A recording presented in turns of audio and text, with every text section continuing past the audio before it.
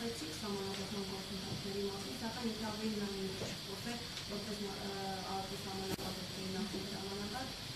ձեր գնահատականն է հետաքրքիր այդ գործընթացի վերաբերյալ, քանի որ բազմիցս խոսում եք, եկել մի փոքր խոսեցիք, որ այն մասնագիտական բազմիցս հույսները է կատարվել, օրինակ խոսում է կոնկրետ օրինակ ասեմ GPS-ների մասին, որ մեխանիկական ձևով է կատարվել, դուք ինչպես կգնահատեք այդ գործողությունները կատարված ու իշխանությունների գործողությունները այսպես Շնորհակալություն։ Ուրեմն ես ասացի, որ հիմնական աշխատանքը համանազատման, համանագծման եւ համանազատման հետ կապված պիտի կատարի արտաքին գործերի նախարարությունը եւ գեոդեզիայի ինստիտուտը։ Այդ GPS-ների մասին ասեմ, որ կան գեոդեզիական ճշգրիտ սարքեր, որոնց միջոցով են այդ ամեն ինչը կազմակերպում։ Եվ դա շատ ծանր աշխատանք է։ Մի հատ փոքր օրինակ բերեմ, Վրաստանի հետ սահմանագծման, սահմանազատման աշխատանքները մենք սկսել ենք 96 թվականից։ 25 տարի է եւ միջովի ոչ մի հարց չի ավարտվել։ Չի ավարտված նաեւ ադրբեջանա-վրացական սահմանը, նույն 25 տարիների ընթացքում։ Դրա համար երբ հայտարարում են, թե Հայաստանի եւ Ադրբեջանի Սյունիքի մարզում կատարվում են դեմարկացիոն աշխատանքներ, դա զարմանալի է, ոչ ոչ պրոֆեսիոնալ մոտեցում է։ Ես այսօրվա մեր հարաբերությունները ադրբեջանցիների հետ մի հատ հետևություն կարող եմ ասեմ, որ դա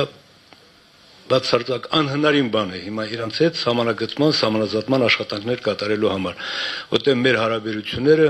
նոր ավարտված պատերազմ եւ այլն։ Օրինակ ես գտնում եմ, որ հնարավոր հնարավոր է այդ աշխատանքները կատարել, եթե ինչ որ մի հատ միջնորդ պետություն լինի։ Օրինակ Ռուսաստանը այսօր հանդիսացել է միջնորդ պատերազմը դադարեցման, կարելի է Ռուսաստանի հետ խնդրել, որպես իրենք լինեն միջնորդ սահմանների ճշգրտման հարցում։ Դա ուրիշ հնարավոր հնարավորություններ չկա։ Ես ինչի եմ օրինակ բերել Վրաստանը։ Մենք Վրաստանի հետ բարի դրացիական հարաբերություններ ունենք ու 25 տարում չենք կարողանում այդ սահմանը ճշտենք։ Իսկ Ադրբեջանի հետ ընդհանրապես չի ստացվի։ Դրա համար երևի եթե ուզում ենք արագ ճշտենք մեր սահմանները, այսինքն սահմանագծման եւ սահմանազատման աշխատանքներ կատարենք եւ լարվածությունը թուլանա, միակ ելքը երևի միջնորդավորված հետևի աշխատանքներն է։ Ես օրինակ տեղեկություն ունեմ, որ Արևելյան Եվրոպան, երբ եվրոպական երկրներ երբ ուզում էին մտնեին Եվրամիության կազմի մեջ, իրանք իրար միջև ահագին սահմանային հարցեր ունեին, Բալկանյան երկրները։ Միությունը մի հատ այս ձևի պրոֆեսիոնալ հանձնաժողովեր կազմել, օգնել որպեսզի սահմանները լրիվ ճշտեն, նոր նույնիսկ միանան միությանը։ Մի փոքր լրացում, եթե թույլ կտակ, դրա հետ կապված շատ կարևոր միտք հնչեցվեց, մասնավորապես տեսեք, Եվ երևի հենց այստեղ այդ գաղտնիքը, թե ինչու են ադրբեջանցիները այսպես կամած կամած իրենց դիրքերը տեղաշարժում։ Որտեղ մարդիկ հստակ հասկանում են, որ դա օրինական ճանապարհով, այսինքն բանակցություններով չի լուծվելու եւ գնում են այդ տարբերակին, դիրքեր են ամրապնդում, դիրքեր են գրավում մեր լրակյաց, այսպես ասած, համաձայնության, անզորության արդյունքում։ Ուրեմն ոչ մի լրագրող, ոչ մի լրատվամիջոց թող կասկած չունենա, բոլորի ձայն ենք տալու մարդիկ հավաքվել են դրա համար, որ ձեզ հետաքրող բոլոր հարցերին պատասխան տան։ Այնպես որ խնդրում եմ իրար զիջելով համեցեք։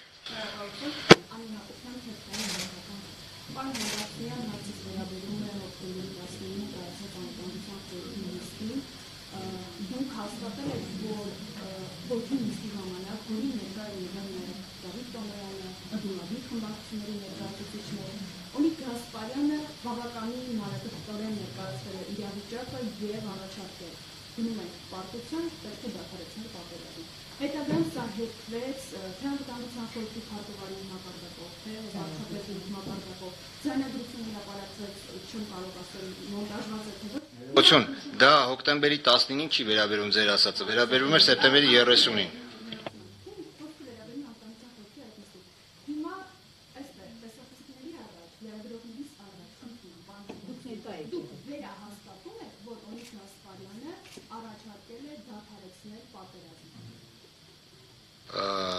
օրը շեշտեք, որ օրվա մասին եք հարցնում։ Այն ինչ հրապարակել։ Մի րոպե։ Ոչ, օրը ասեք, երկու նիստի մասին է խոսքը գնում, սեպտեմբեր 30 հոկտեմբերի 19։ Ես սեպտեմբերի 30-ին նիստին ի պաշտոնը չէի կարող մասնակցել եւ չեմ մասնակցել։ Հոկտեմբերի 19-ի։ Այդ դրա դրա հետ կապված ես իմ հայտարարության մեջ ասել եմ, հիմա էլ կրկնում եմ, որ այդ օրը ամենայն մանրամասնությամբ ներկայացվել է երկրում տիրող իրավիճակը եւ ես հաստում եմ, որ դա օբյեկտիվ այն իրավիճակն է եղել, ինչ որ իսկապես տիրել է։ Մեկ էլ մի բան ասեմ, հիմա խնդրում եմ պատերազմական գործողությունների ընթացքում տիրած իրավիճակի, իշխանությունների գործողությունների եւ այլնի հետ կապված խնդրում եմ ինձ հարցեր մի ուղեք, ոչ թե նրա համար, որ ինչ որ վարանում են պատասխանել, այլ զուտ նրա համար, որովհետեւ մտածում եմ համենայն դեպս առաջիկայում մի քիչ ավելի լայն ֆորմատով կտամ հարցազրույց եւ իմ նկատառումները այդ մասով կոնկրետ շեշտադրումներով կարծում եմ ավելի մանրամասն հարցազրույց կտամ։ Այսքանով բավարարում եմ։ Ժողովուրդ օրաթեր քնար հաղթությունում ազգային անվտանգության ծառայության բոլոր ֆունկցիաներով, ինչի չմասի նախին, քանի ազգային անվտանգության ծառայության նախին չի լինում,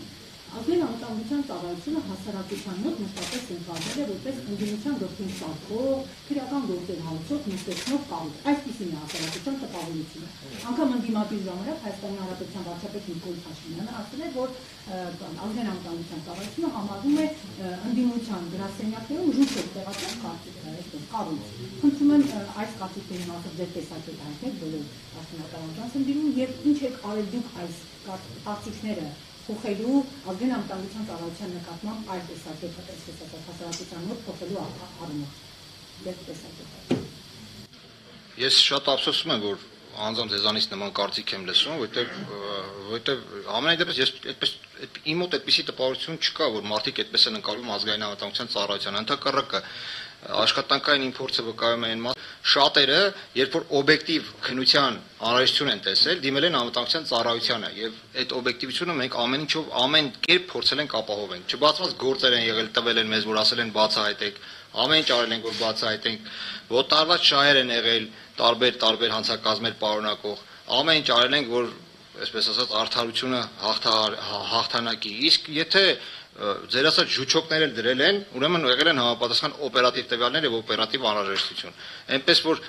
ձեզ էլ եմ խնդրում եւ մյուս գործընկերներին ամեն ինչ արեք, որ այդ կարծրատիպը փոխվի։ Ես կարծում եմ դա չկա էլ այսօր։ Ամենայն դեպս այն հին պատմությունները վաղուց անցյալ են դարել։ Բրակացն Ժորժ ջան, հասարակական կազմակերպությունն է։ Մի վարքան է հետո հետո դուք հարցազրույց կազմակերպելու վեստելու հնարավորություն կունենաք։ Բարի։ Ես աշխատել եմ միջև 2016 թիվը եւ տարաձայնություններ ունենալով իմ ղեկավարի հետ դուրս եմ եկել համակարգից։ Ինչ վերաբերվում է մեր տարիներին, ապա կարող եմ ասել, որ ժուչոկի մասնագետները ավելի շատ են տարածվել, ավելի շատ են բանարել ներկա իշխանության օրոք